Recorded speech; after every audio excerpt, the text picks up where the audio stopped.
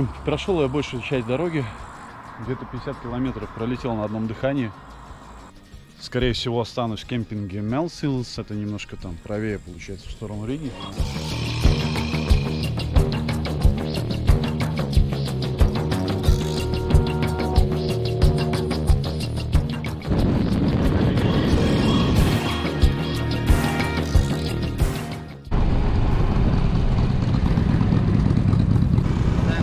Labdien! Cik maksā? Ro- Maksas stāviet rollerim būs ja, viens eiro stundā, jāmaksā pēc tam iekšā veikalā. Jā, paldies!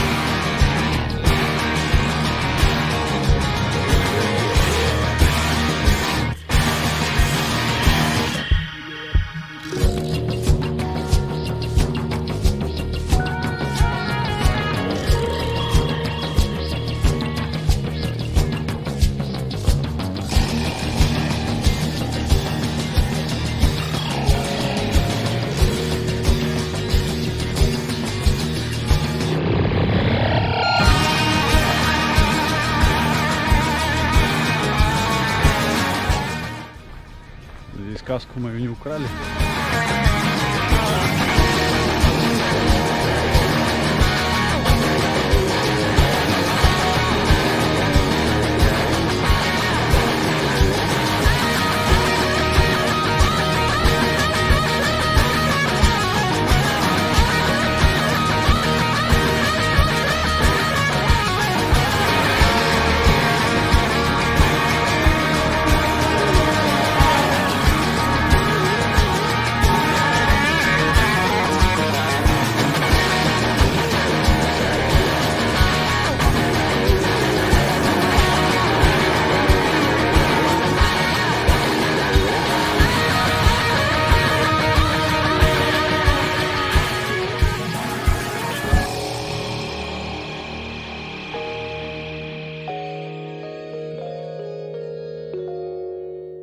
Найдется свободное место под палатку? Очень-очень маленький. Ну да, я думаю, э, очень много человек и есть очень много резерваций. Э, Есть резервация тоже? Нету резервации, я так спонтанно поехал.